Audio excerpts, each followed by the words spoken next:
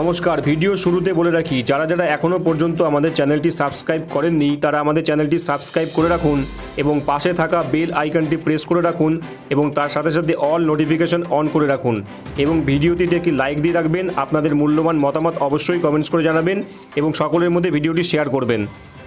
ঘণ্টার মধ্যে কোনো সহযোগিতা কিছু আসেনি, পৌনে ছটা আমার উপরে যখন আমাদের লোকজন প্রায় চলে গেছেন, পুলিশ আমাকে আটকে থেকে বলে পুলিশও চলে যাচ্ছে। হঠাৎ চারিদিক থেকে হই রই করে বোম মারতে মারতে শো দেড়শো লোক ছুটে আসে। আরও বেশি হতে পারে, আমি তো বেরিয়ে গেছি। চারিদিকে বোমের আওয়াজ, খোলা মাঠ, মাঠে দশ পনেরোটা গাড়ি নিয়ে আমরা দাঁড়িয়ে আছি। আরও কিছু লোক ছিলেন, তারা দৌড় মারলেন। আমি অবাক হয়ে গেলাম যে বোম পড়ছে, ধোঁয়া উঠছে, ধীরে ধীরে আমার গাড়ির দিকে বোম পড়তে আরম্ভ করল। তখন আমার সিকিউরিটি লোকেরা বলেন যে এখানে দাঁড়ানো ঠিক চলুন। সঙ্গে সঙ্গে গাড়ি নিয়ে যখন বেরোতে যাব, চারদিকে পুলিশ, চারিদিকে গুন্ডা। টিএমসি ঝান্ডা নিয়ে দুষ্কৃতকারীরা এসছে। এবং সেই লুঙ্গি বাহিনী যারা যে উৎপাত করে এসছে, আমার সামনে গাড়িগুলোকে বাঁশ দিয়ে দমাদম মারতে আরম্ভ করল। আমার গাড়িতে পাথর আর বোম পড়তে আরম্ভ করল। গাড়ির বডি ফেটে গেছে, গাড়ির কাঁচ ভেঙে আমার গায়ে লেগেছে, চোট, হাত ফুলে গেছে, লাল হয়ে গেছে। এবং আমার অবাক হয়ে গেলাম, চারদিক থেকে ঘিরে পড়ল, কোনো মতো আমার বেরোলাম, ততক্ষণে পাথর পড়তে আরম্ভ করল। বোমগুলো আমাদের গাড়িতে পড়ছিল, গাড়ির বডি ফেটে গেছে। এই যে ভয়ঙ্কর পরিস্থিতি আর আমরা যখন রাস্তায় উঠে চলে আসছি, দেখছি পুলিশ অলরেডি হাঁটা দিয়েছে আমাদেরকে ছেড়ে দিয়ে। কোনো পুলিশের সহায়তা ছিল না। নির্বাচন কমিশনের কাছ থেকে অনুমতি নিয়ে আমরা সভা করছি। আর এমন উপদ্রুত এলাকা, যেখানে ঢোকার বেরোবার একটাই রাস্তা বাংলাদেশ ওদিকে আসাম পরিস্থিতি, সেখানে নির্বাচন কমিশনের উপস্থিতি উপস্থিতি আমরা দেখলাম না। তো কিসের ভরসায় লোকেরা ভোট দিতে বেরোবে? আমি রাজ্য সভাপতি, এমপি, আমার যদি সামান্য সুরক্ষা না থাকে, আমার ব্যক্তিগত সুরক্ষা যারা ছিলেন সে হিসেবে তারা সুরক্ষা দিলেন, নাহলে বেরিয়ে আসা মুশকিল ছিল, গাড়ি ঘিরে হয়তো আরও অনেকে মারা যাবে সকালে মারা গেছে একজন। কয়েকদিন ধরে আক্রমণ চলছে কর্মীদের উপর, বাড়ি ভেঙে দিচ্ছে, দোকান ভেঙে দিচ্ছে, গাড়ি ভেঙে দিচ্ছে। কালকে প্রাইম মিনিস্টার সভাতে যারা গেছিলেন, ফেরার সময় আক্রমণ করা হয়েছে, মাথা ফাটি দেওয়া হয়েছে। এবং আজকে বিকালে আমার উপরে আক্রমণ। এই যে ভয়ঙ্কর পরিস্থিতি, দিন, দিনের বেলায় ঝান্ডা নিয়ে, ডান্ডা নিয়ে, লাঠি নিয়ে পাথর বোম মারতে মারতে অ্যাটাক করছে। এটা কোন দেশে আছি আমরা? এই লাঠিটা দিয়ে বাড়ি ভেঙেছে এইটা এই দিয়ে এই একটা সলিড রড দেখেছেন একটা রড এটা অন্তপক্ষে দু কিলোর বেশি ওজন এই দিয়ে মেরেছে গাড়ি গাছ সব ভেঙে গেছে। দেখে গেছে।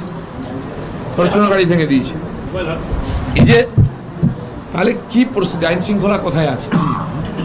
তো আর এর পিছনে পুরোপুরি মমতা ব্যানার্জির উস্কানি আছে। গত কয়েকদিন ধরে যিনি ভাষণ দিচ্ছেন উনি বুঝতে পেরে গেছেন জেতার কোনো চান্স নেই। উনিও যাবেন বাংলা সর্বনাশ করে দিয়ে যাবেন। তাই হিন্দু মুসলিম করছেন, মুসলমানদের ভয় দেখাচ্ছেন যে বিজেপি এলে সর্বনাশ হয়ে যাবে। ভোটে বুথে লোক বসার না পেলে মাদ্রাসা থেকে লোক নিয়ে আসার কথা বলছেন। আমরা আগে থেকে বলেছিলাম এটা পশ্চিম বাংলাদেশ বানাবার চক্রান্ত করছেন মমতা ব্যানার্জি। এখন সেটাকে পার করে গেছে। এ তো আফগানিস্তান তৈরি হয়ে যাচ্ছে। এরপরে ফ্রি ফেয়ার ইলেকশন কী করে আশা করা যায়? এই পুলিশ অফিসাররা এই প্রশাসন থাকলে কতই সম্ভব নয়। লোকসভার সময় লোক সাহস করে গিয়ে ভোট করে বিজেপির এমপিকে জিতিয়েছিলেন। এবারে যদি সম্পূর্ণ সুরক্ষা ব্যবস্থা না করা যায়, ভোট নিশ্চিন্ত হবে না। রিফ্লেকশন হবে না মানুষের ইচ্ছা। সেই জন্য আমি দাবি করব, মমতা ব্যানার্জিকে যেমন নোটিশ দিয়েছে ইলেকশন কমিশন, তাতে হবে না। ইলেকশন নির্বাচনী প্রক্রিয়া থেকে তাকে আলাদা করতে হবে, তার পুরো ভাষণ বন্ধ করে দিতে হবে। কোনো জনসভায় যেন ভাষণ দিতে না পারেন উনি ইলেকশন কমিশনকে এটা দেখতে হবে। নাহলে উনি ভাষণ দিলে দাঙ্গা বাঁধবে, সাম্প্রদায়িক সম্প্রীতি নষ্ট হবে। আমাদের পার্টির কর্মী নেতাদের জীবন সংকটে পড়বে। উনি ইচ্ছা করে দাঙ্গার পরিবেশ তৈরি করছেন, পশ্চিমবাংলাকে জ্বালিয়ে দিতে চেয়েছেন। সেই জন্য তাকে ব্লক করা হোক নির্বাচন থেকে। তাহলে সুষ্ঠুভাবে নির্বাচন হবে না। কারণ চিরদিন উনি আগুন নিয়ে খেলেছেন। রাজ্যের মানুষের জীবনের চিন্তা নেই, আইন শৃঙ্খলার চিন্তা নেই, সংবিধান কোর্টকে মানেন না। তার কাছে ভোট ক্ষমতাই সর্বস্ব। তাই তিনি আজকে এখানে আগুন জ্বালিয়ে জেতার চেষ্টা করছেন।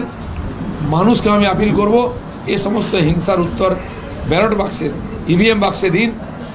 এই হিংসার জবাব দিয়ে বাংলায় পরিবর্তন করুন। আর তা না হলে কিন্তু এই দিনে দিন বাড়বে। মানুষের জীবন, মহিলাদের সুরক্ষা, পুলিশেরও সুরক্ষা নেই। তারা যেভাবে পালাচ্ছিল আমাদের ছেড়ে দিয়ে, আমি দেখলাম পুলিশ সুরক্ষিত নয়। তাই ইলেকশন কমিশনের কাছে আমার আপিল, ভোট যদি নিশ্চিন্ত করতে হয় ফ্রি ফেয়ার কাল থেকে সেন্ট্রাল ফোর্সের ওখানে এ হওয়া উচিত, পেট্রোলিং হওয়া উচিত, মার্চ পাস্ট হওয়া উচিত যাতে মানুষ সাহস পান এবং যত দাগি গুন্ডা বদমাস আছে, সবকে জেলে ঢোকানো উচিত। তাহলে কিন্তু ফ্রি ফায়ার ইলেকশন হবে না। আমি এ দাবি করছি। দরকার হলে আমরা ইলেকশন কমিশনে গিয়ে কমপ্লেন করব। আমি পুলিশকেও এফআইআর করছি এই ব্যাপারে। আমার উপরে যে আক্রমণ হয়েছে।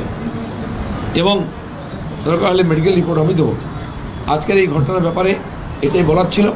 এই ভয়ঙ্কর পরিস্থিতি হচ্ছে তিনটে ফেজে মমতা ব্যানার্জি হেরে গেছেন। তাই নির্বাচনটাকে গুলিয়ে দেওয়ার চেষ্টা করছেন। কখনো পরীক্ষার দোহাই দিয়ে পিছিয়ে দিতে চাইছেন। কিছুতে উনি ভোট চাইছেন না। আমার মনে হয় মানুষ চাইছেন ভোট ভোটের মাধ্যমে সমাধান। তাই নির্বাচন কমিশনকে কড়া স্টেপ নিতে হবে।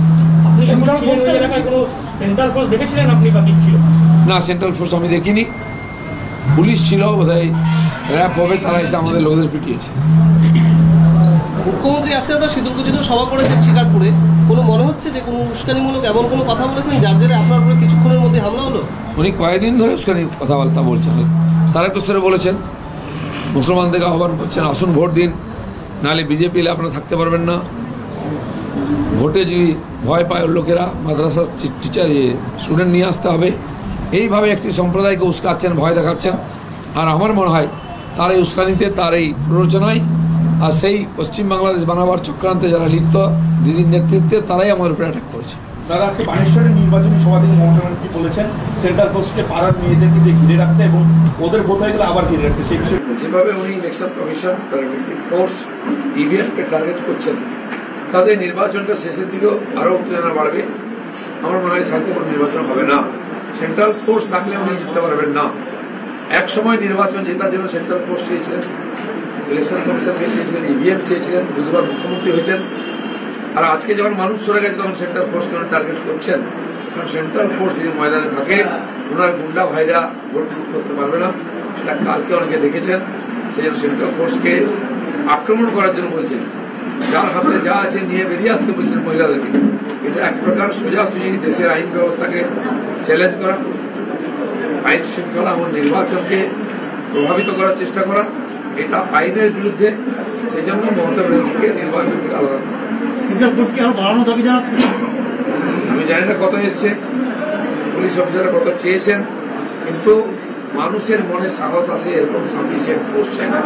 এবার তৃণমূলের একটা অভিযোগ আছে যে বিভিন্ন জায়গা থেকে আজকে সভায় সারাদিন ধরে লতালতা ওয়ান এবং বিভিন্ন জায়গায় তাদের গাড়িও ভাঙচুর করা হয়েছে।